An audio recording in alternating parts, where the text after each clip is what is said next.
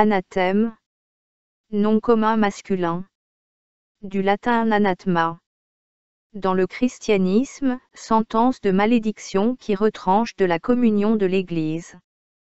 Par extension, celui qui est retranché de la communion des fidèles. Par extension, personne qui est un objet d'opprobre, d'exécration.